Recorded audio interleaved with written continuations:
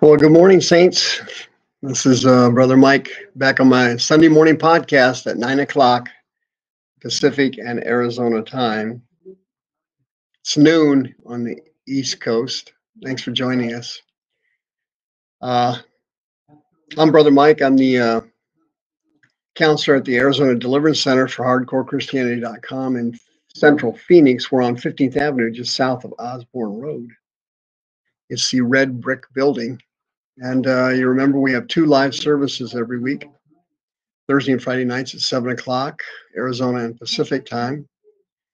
We have preaching, teaching, healing, and deliverance at both those services, and they're both recorded live on our YouTube teaching channel, plus two or three others. Just go to youtube.com slash House of Healing AZ and you're there every Thursday and Friday night. Brother Rick brings the message on Thursday nights.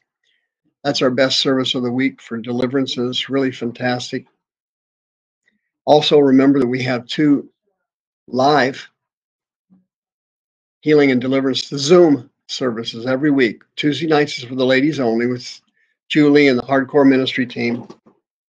And Wednesday nights is for men and women, Brother Rick and uh, Stephanie and the other ministry team members are killing it on Wednesday nights. Just fantastic. Julie's Zoom is growing every week.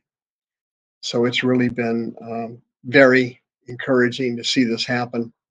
So if you need help, you can show up live or you can show up on the Zoom, or you could send me an email, mike at hardcorechristianity.com, and I will send you the ID and the password for the Zoom services, and I will send you the miracle list. The miracle list is probably the greatest treasure known to America that nobody knows about. I send out dozens of these miracle lists every week, and only a fraction of the people actually do them. But the ones that do them, their lives are catastrophically changed. The miracle list, I'll send it to you as soon as you send me an email, mike at hardcorechristianity.com the government's uh, about ready to come out with a new virus, and then we're going to have to have another vaccine. So if you need a religious exemption form for that fiasco, send me an email at mike at hardcorechristianity.com and I'll send you out a religious exemption form ASAP. And thank you for your support.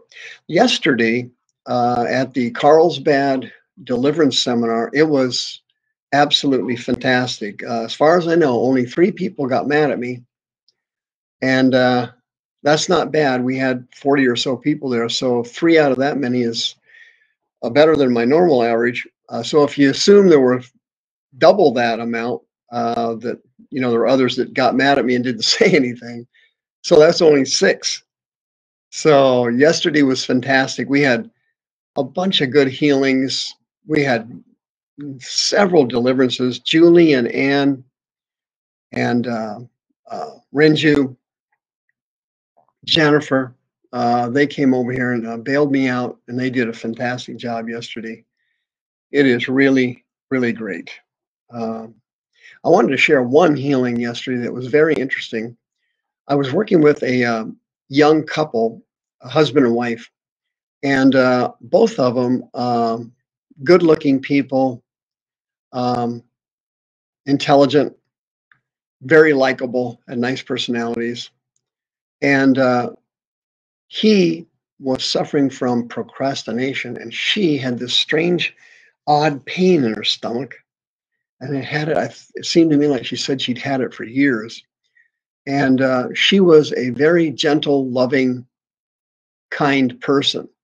And she uh, wasn't living in any kind of sin, had a great character, you know, just a very strong woman of God.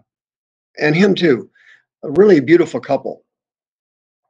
And uh, she couldn't get this thing out of her stomach. Well, we started to pray, and I asked her to join in, and I saw that she had a coward spirit. Okay.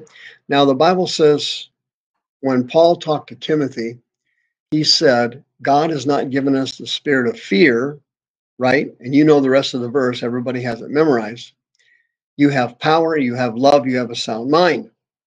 Now, The Greek word for power there is in that verse is dunamis, which means supernatural power. When you have the Holy Spirit living on the inside, you have you have supernatural power that comes from him. And he's in your spirit man. And the Holy Spirit only gives people a sound mind. Sophronismos is the Greek word. It means uh, a mind that operates properly, correctly, fundamentally sound. That's what it means. And it says love. Agape is the Greek word for love, and that is the love of Christ transferred into your spirit man by the Holy Ghost. Everything you get in your ministry and in your Christian life from now to the day you die comes from the Lord Jesus through the Holy Ghost, and He implants it inside of you. That's how their system works, right? Well, this girl had that verse. God has not given us a spirit of fear. Well, that verse was a little mistranslated in the King James Bible. It wasn't the regular Greek word for fear, which is phobos. It was the Greek word deilia, which means cowardice. And th- those are the demons that cause people to be shy, introverted, withdrawn emotionally. And it usually uh, gets in the coward spirits usually get in in childhood during periods of, of abuse or bullying in school, where a child is embarrassed or humiliated, and they develop this kind of sense of internal fear and fear of conflict. They have a fear of public speaking. They have a fear of standing up for themselves. They have a fear of speaking out. Okay it's a deilia spirit. It's a coward spirit. Okay. Well, God just made me that way, Brother Mike. Uh, no, He didn't. Okay. You heard the verse. God has not given you a spirit of cowardice. You have divine agape love. You know what that is? Of course you do. It's the love that comes from God, implanted in your spirit man by the Holy Ghost, and it's supernatural, unconditional love so that you can love people that are unlovable, so you can love yourself. That's the toughest one. The person that you are is the toughest person to love. But supernatural power of God, agape, allows you to do that. Okay? Well, this girl had a fear spirit from childhood. She was coward. She was cowardly. And I noticed when she was praying, she was praying kind of gently and softly. She kind of prays like this Lord, I pray in the name of Jesus. And I bind this spirit in the name of Jesus. And I said, I said, I stopped her. I said, Hey, this isn't going to work. Okay, this is you're not going. We're not getting this thing out. All right, you you need to do as Paul said to Timothy. We need a warrior spirit here, not some spirit of cowardice that's going to keep you in bondage. Okay, Fear and cowardice are two demons that always work together. Here's how it works they both usually get it in childhood, and then the fear spirit's the one that gives you the spook. Boom. The coward spirit is the one that causes you to become withdrawn and not seek help. You become withdrawn and you don't seek help. That's a coward spirit. The other feature of the coward spirit is what this woman had at the service yesterday. She won't fight for her life. She was more apt to fight for her, other people's lives or people she loved. She was much better at that. But fighting for her life, not on the table. It's not going to happen. She's going to pray just like I was praying. I command this spirit to come out in the name of Jesus. Lord, I'm, I, no, Stop. Stop. Okay. That's not how you do it. okay. We must learn to do it as Jesus did it. Okay. Jesus was the greatest at, at everything, period. And that means he was the world's greatest deliverance minister. No questions asked. No doubt about it. What did he do? he firmly, aggressively spoke directly to the demons. And he said, I charge you, come out of the boy and never enter into him again. Mark chapter 9. Jesus was aggressive with demons, no nonsense. He bashed them right in the face, kicked them in the groin, shoved them out of the airplane with no parachute. Vicious. Vicious. Praying doesn't work with demons. Jesus never prayed over demons. He blasted them. He blasted them. So she was praying and she wasn't doing a very good job. So then I recruited her husband. I had him start commanding with her. And that, that helped. That was a little better. He was a little stronger. Okay. Well, I had to go pray for somebody else, as you can imagine. It was chaotic around the altar call time. So I went to go see somebody else. Well, about 15 minutes later or so, she comes walking up to me with tears in her eyes. I mean, it was beautiful. She was really a beautiful woman. She had a great personality, very good heart, very tender person, super gal, sanctified, not not living in any kind of sin at all. Sin was not the problem at all. And she's got tears in her eyes. She says, this is what happened to me. And she's kind of started to explain it. And she was kind of broken and so on. But apparently, what this demon had done after she started to attack it, after she started to do as Jesus did, as Jesus taught her, I charge you, she became aggressive, fighting for her own life. Okay, and you're, you're supposed to do that. You're supposed to fight for your own life. God wants you to do it. He loves it when you do that. This thing came out of her stomach and went down her right leg and out. And she was amazed. Well, I was working with another woman there who uh, was, um, you know, a long term project, and she wasn't getting delivered, and her mind was blocking all kinds of stuff, and she was doing very poorly. But she did get some minor breakthrough, though.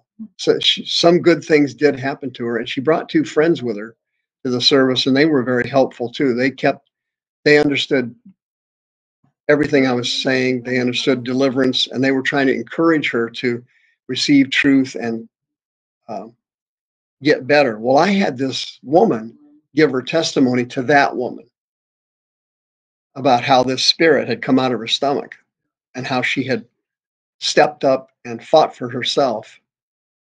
And bang, it came out. See? And that's what you got to do. That's what you got to do. And your Heavenly Father gets very proud of you when you do that. He's very proud of you, very similar to when you were proud of your your son or your daughter. Right? I remember when I was in junior high, I started my boxing career in California. I'm from Anaheim. Right now, I'm podcast coming to you from Oceanside we were in Carlsbad yesterday. And uh, unfortunately, I got to go back to Phoenix. I guess it's 118 there today. Good grief. When I was in junior high, I, one of my boxing matches on my, our boxing team was putting on an exhibition at the Elk Club in Anaheim. And I remember I fought in that fought in that fight. I won a little trophy. I still have that little trophy today. It's about that big. I still have it. Don't say anything. But after that fight, I didn't do very well. And my dad was so proud of me. I'll never forget that. My dad was so proud of me. I just thought that was the most wonderful thing in the world. Well, I said that to say this your Heavenly Father is that way and way beyond it, way beyond anything my dad had, obviously. He's very proud of you when you fight back, when you become a fighter, see, when you cast out that spirit of cowardness and you say, This isn't the way God built me, I'm just naturally shy. Okay, cut the crap. Stop lying and fight back. Okay? How do you fight back? You call demons' name, names. You dirty, stinking, rotten rats. No, you don't do that. You, you fight back with God's word. You fight back with genuine faith and assurance that you got this thing covered and the Holy Ghost has got your back. The key to deliverance and everything else in your life from this day forward is getting the Holy Ghost to show up. He's the he's the difference maker. He's the difference maker. I wanted to do something a little different today.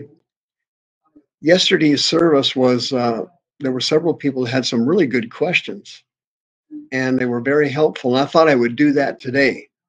If you have a question, just pop it up on the screen here, and uh, we'll take a shot at exploring it. Because yesterday's questions uh, were very good.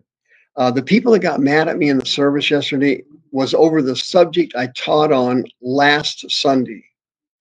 I don't know if you remember that, but it, well, maybe it was the Sunday before. It was called Another Jesus.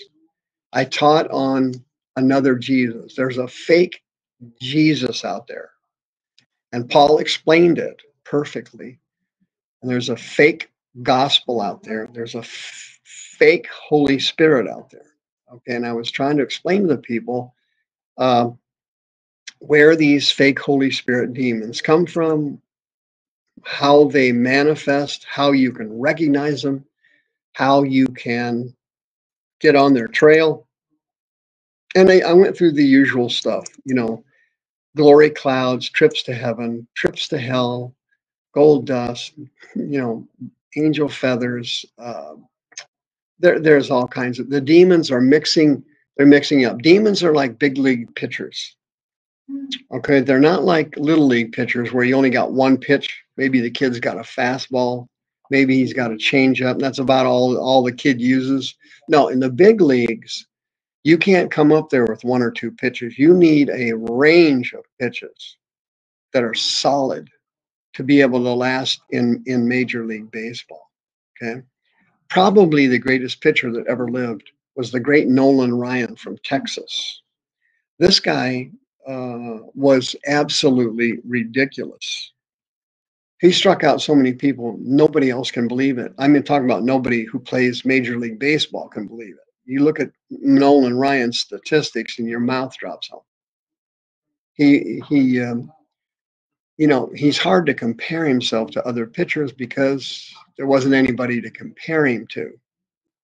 Well, demons are very similar to Nolan Ryan. They not only have a blistering 103 fastball, they've got all kinds of pitches knuckleballs, changeups, everything coming at you.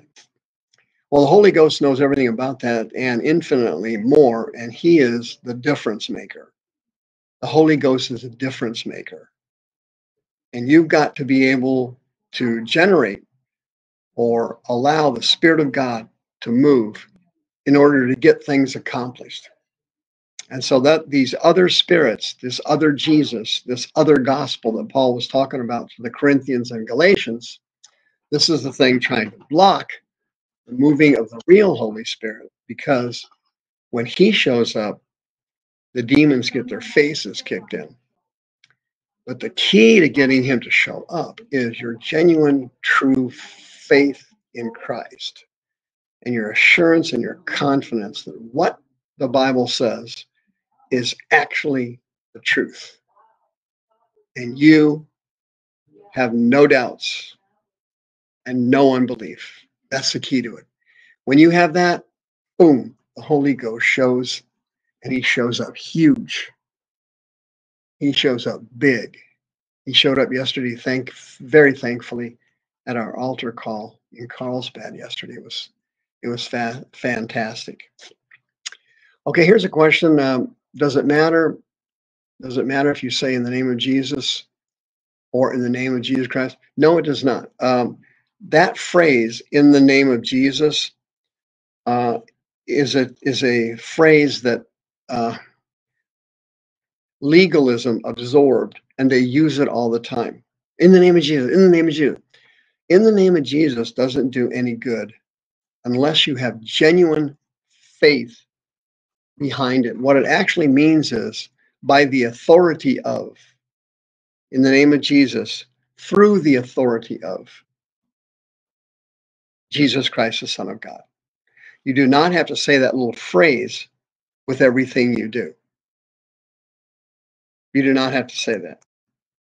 I've had dozens of people healed over the years where I just said, heal, or I grabbed their body part, be healed, something like that. They got healed. It's not, it's not your legalistic pet phrases that generate the moving of the spirit. It's your genuine faith in Christ, the living Christ. Jesus, the King of King and Lord of Lord. Okay? Here's another question. Uh, uh, people have are going to heaven and hell. Is that a spirit? Yeah, that's a familiar spirit. He, he gives them a vivid, I'm telling you, reality like you can't believe. Familiar spirits uh, are the most powerful of all demons. They're the smartest of all demons.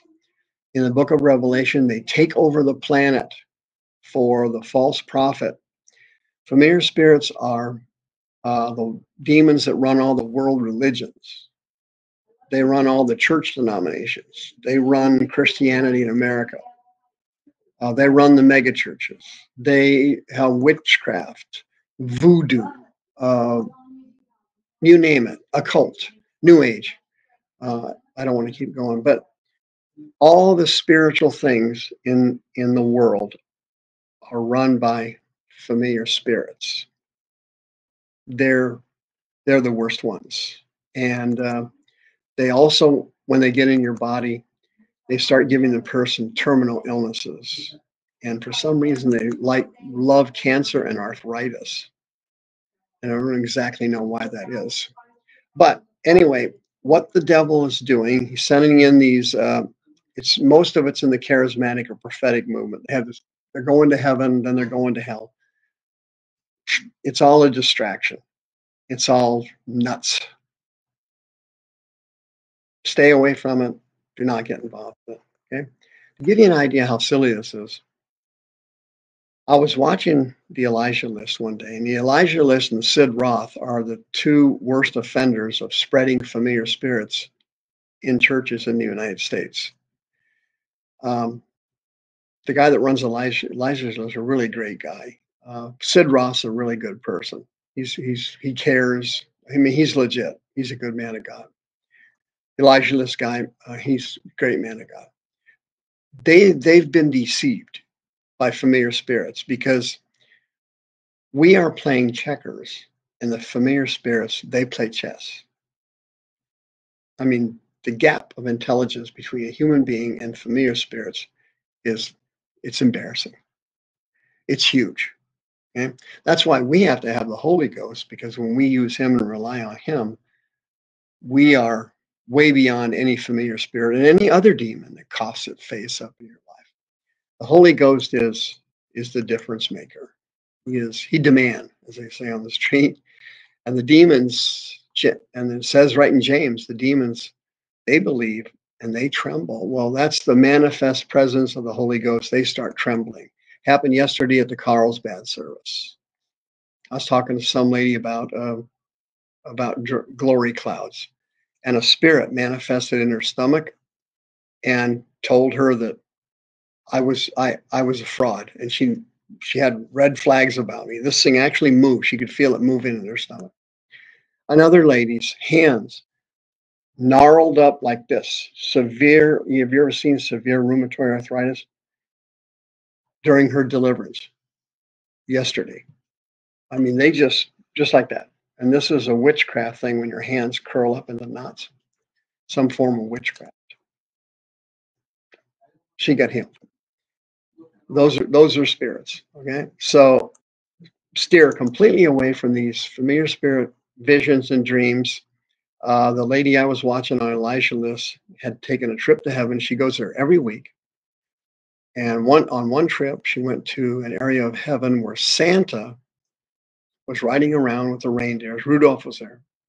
And Santa goes around and gives toys to children.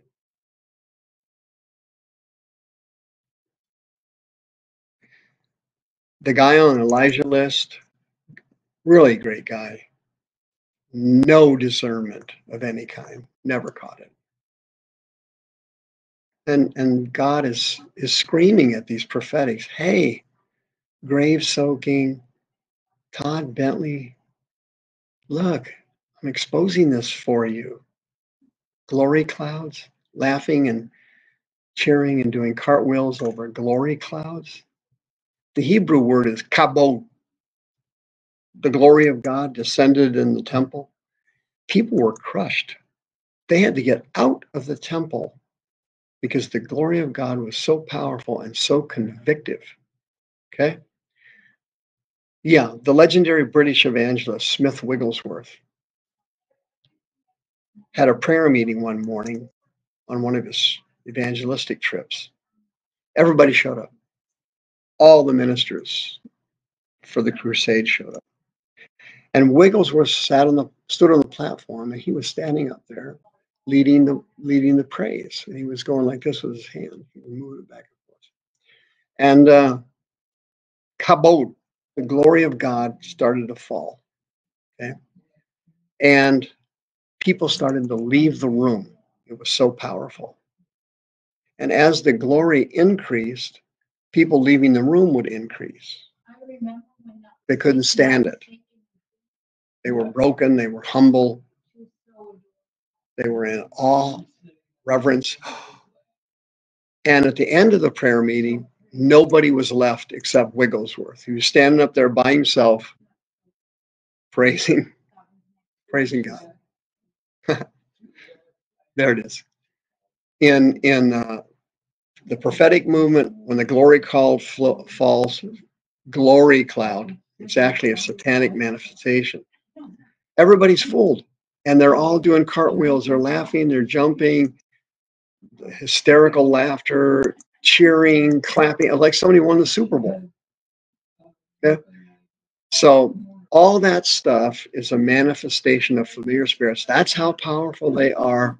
They have only begun to warm up on this planet. The false prophet is only a few years away now, and he is off the chain. He is the most evil, wicked person that ever lived, worse than Nimrod, worse than Nimrod.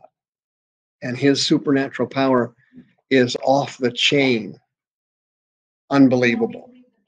He's going to fool everyone and set the whole planet up for the Antichrist. That's how powerful he is. He's going to use artificial intelligence and deep fakes. He creates a statue. Greek word is icon. He creates a statue of the Antichrist and it starts moving. It starts talking. Friends, it's already happening. There's deep fakes all over the place. You can see this thing coming, can't you? Somebody calls you up and it's your friend and they're talking to you. You'd swear it's your friend. It's a deep fake voice. I watched a video on Barack Obama not too long ago, and I mean to tell you, he was saying the stupidest things you've ever heard in your life. No way Barack Obama would ever say any of that stuff. It was it was a parody. It was a joke. He sounded and looked exactly like Barack Obama. I mean, we live in a world now of monumental fakes, and that's familiar spirits. That's their specialty. That's their specialty. Okay. Um, I want to caution you about deliverance now. As I mentioned before, this uh, movie came out, biggest thing that ever hit deliverance in the United States. Locke uh, had this movie and it was spectacular. It had all these people getting delivered. Uh, God bless the movie. The anointing was there. At the end of the movie, people were getting delivered left and right in the theaters. Felt kind of sorry for the theater managers, not really sorry, but kind of sorry because there were a lot of people puking in the theaters so they had some extra cleanout that day, but it was a good thing.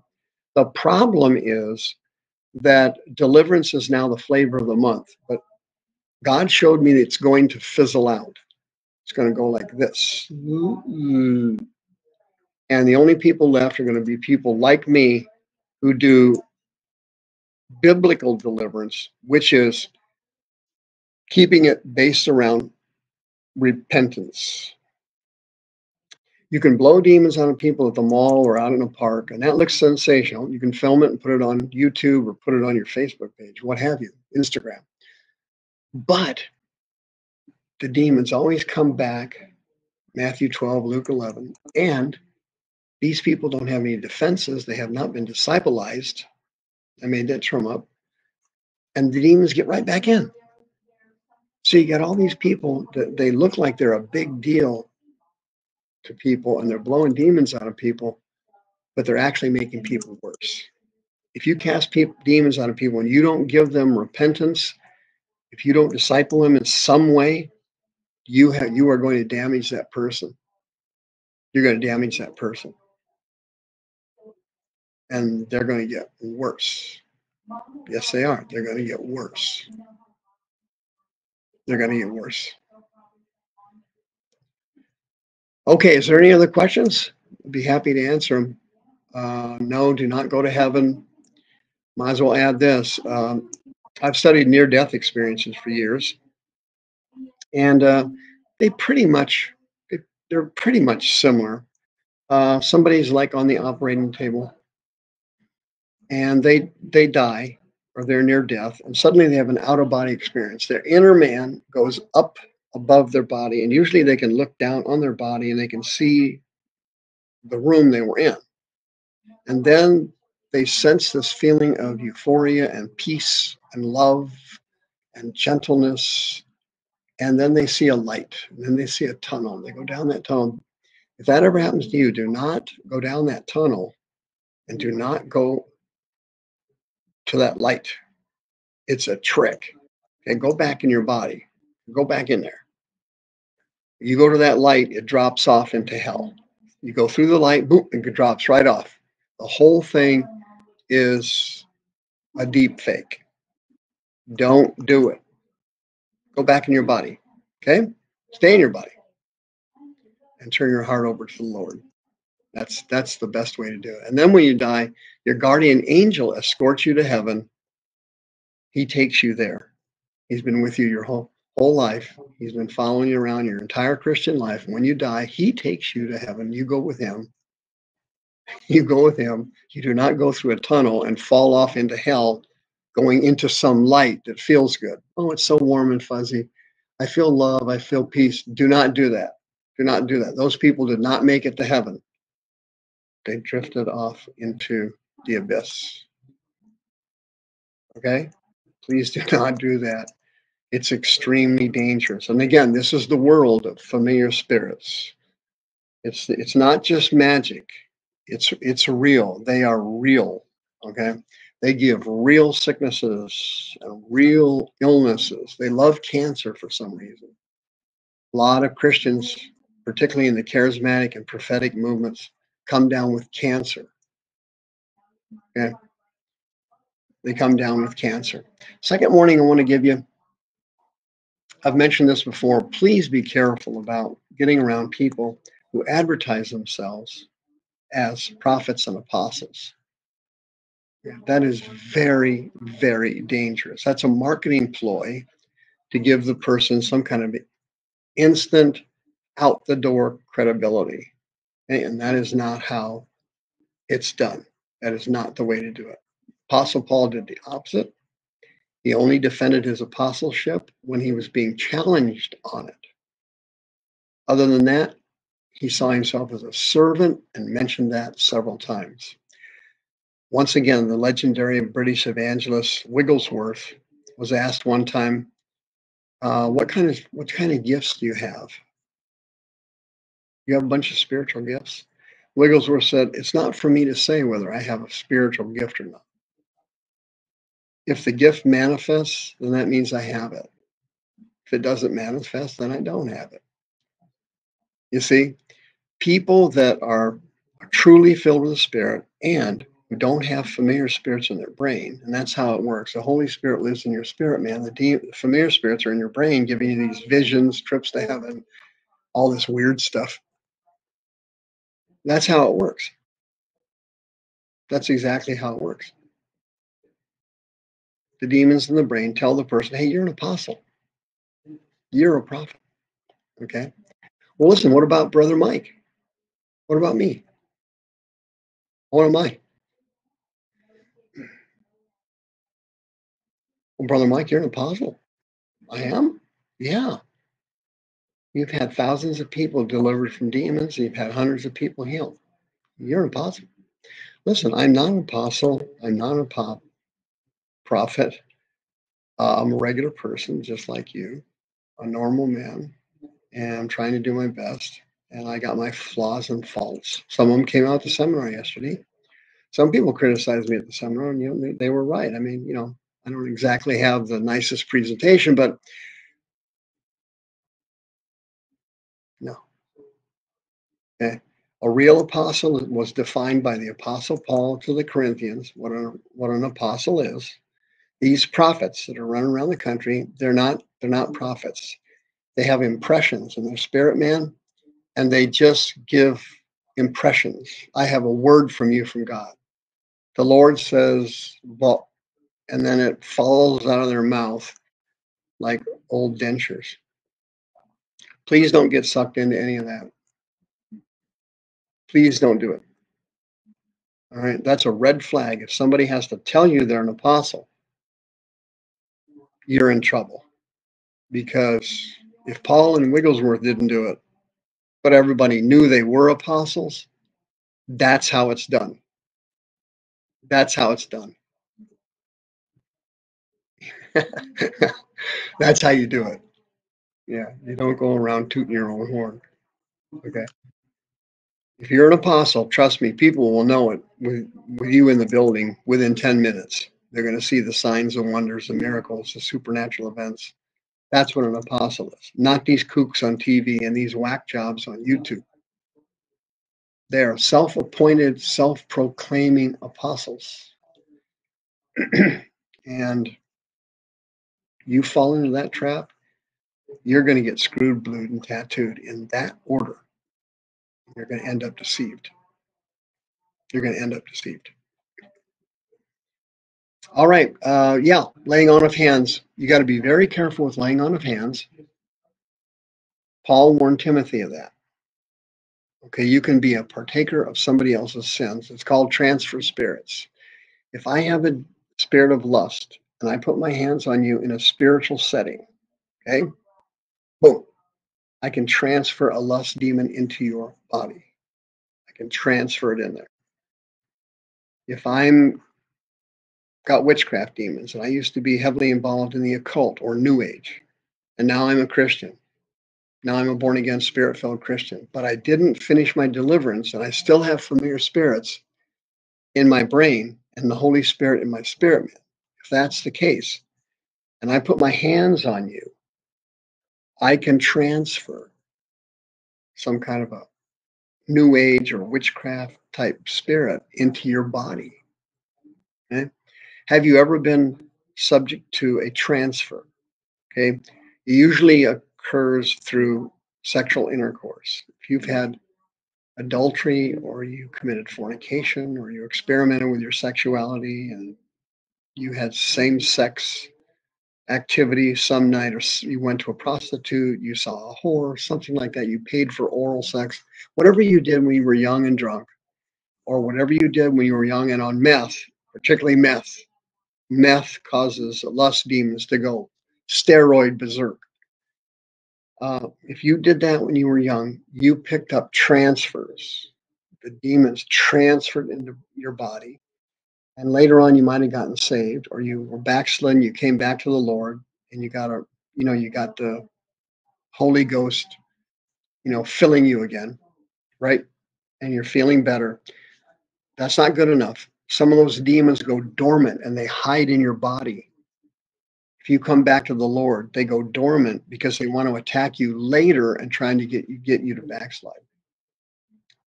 But if you pick up a transfer spirit you will you will start having symptoms of it. You'll ha- start having things like uh, nightmares or repetitive bad dreams. You're going to start having uh, strange sensations in your body. Uh, you're going to have start having pains in your body that move around. The shoulder pain moved down to my lats. Oh, now it's in my L4 Pa- moving, floating pain is a red flag. You may have picked up a transfer if you if you had sex with somebody and you you made a mistake and you slipped and you picked up a transfer, you'll notice a change in your sexuality. Your your sex drive will go up, uh, or your sex drive will go boom, crash to nothing.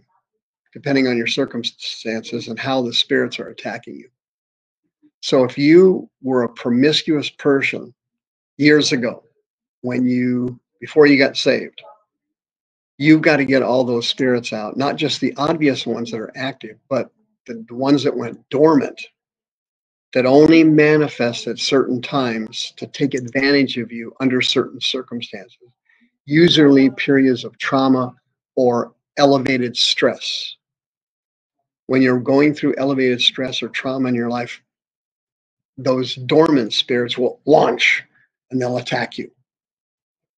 And that's what they're trying to do. They're trying to tip the scales back to failure, backsliding, loneliness, depression, self hatred, low self esteem, rejection. They're trying to trigger those sensations that they are giving you. They are giving them to you. And you picked them up when you were involved in sin. You went out and got drunk. You went out and had some immorality, whatever it was. You got in a vicious fight. You went through a period of screaming and cursing. Something transferred in, or you're sitting in church and some prophet or apostle comes by and lays their hands on you, and boom, you're hit. Uh, short story I had a beautiful woman on my ministry team uh, a couple of years ago and she caught on to deliverance very quickly and was doing a, just a great job. Well, it's kind of a long story, but um, I helped set her up in her Zoom ministry, and then I, you know, released her from our ministry, and then she went out on her own on her Zoom ministry. But before that, after she had gone through del- deliverance and had been doing some wonderful deliverances at the at the uh, at hardcore. Uh, she went to a service one time with her husband. She went to see um, some prophet. And at the end of the service, this prophet said, uh, Who wants to come down to the front for prayer, come down to the altar for a blessing or whatever it was? Well, her husband took a look at this guy, had red flags, and he left. He went out in the lobby. And this woman that was on my ministry team didn't get the red flags went down to the altar. He put his hands on her head, and boom, she hit the floor and picked up a rack of transfers you would not even believe. It took a few days and hours of deliverance per day to get those spirits out of that woman. She didn't even catch it. Her husband, who was not in deliverance and was not a very spiritual person, had gut checks and red flags over this guy and went into the lobby. But she, the spiritual leader of the family, and the one who was on my ministry team doing deliverances, didn't catch any of it, went down to the front and picked up a rack of transfers. Now, fortunately, uh, all the demons were later cast out. But the point I'm trying to make is, man, you got to be careful you got to be careful. In the prophetic movement, they spread familiar spirits around like you can't believe. I mean, they hand them out like candy. They do it through what they what they call um, fire tunnels, and everybody goes down this tunnel. And you have all these other prophetics and charismatics on either side putting their hands on them and speaking words over them and downloading blessings and all kinds of stuff. What they're doing there is they're transferring spirits into these people and you'll see people coming down the fire tunnel. This this one's not doing nothing. They're just walking down there like nothing's happening. The one behind them is going through all kinds of manifest gyrations, uh, vibrating like a tuning fork, all kinds of weird stuff. Nobody sees that as a spirit. Nobody nobody catches it. They think it's God. It's complete spiritual insanity. And by the time you get to the end of the fire tunnel, you will have picked up more demons than you had before you went in the beginning of the fire tunnel. Okay? You don't know people in a fire tunnel putting their hands on you. You don't know that person from Adam. You don't know anything about it. They could have been on porn last night.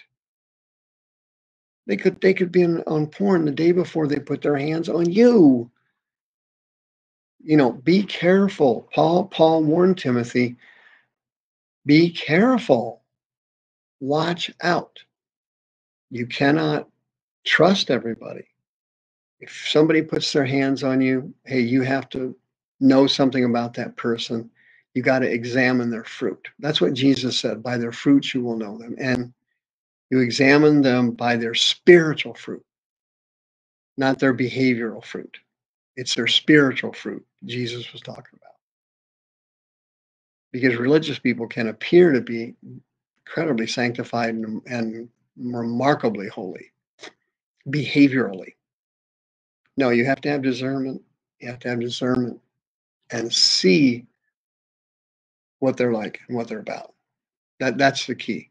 And again, that takes time, it takes prayer, it takes knowledge of the word, and it takes experience. Okay. Never forget this. You cannot replace experience with knowledge. Okay, you could have 50 degrees and be absolutely useless. And in, in fact, let me let me tell you the truth. These people with master's degrees and doctor of divinity degrees, these people are virtually useless when it comes to meeting real people's needs. Real people's needs. Okay? I have more education than most people do. I have a bachelor's degree, I have a master's degree. Uh, I took those two degrees when I got in the ministry, walked over to my trash can in my office, threw them in the trash. I threw them in the trash. Why? because I'm, I'm looking for miracles. I want people to get healed. Childlike faith. Childlike faith triggers miracles, not degrees, not knowledge, not human intelligence. See, your IQ isn't the determining factor, it's your childlike faith. Two issues to pray for. Lord Jesus, please give me childlike faith and love listen, if if you get that prayer answered, you're going to become a very dangerous person. You're going to become a spiritual killer. You're going to put the devil to run. You, you're not going to believe the beating you're going to heap on him. But you get a bunch of college degrees. I got a divinity degree and church history and biblical studies and Hebrew. I was like, forget about it.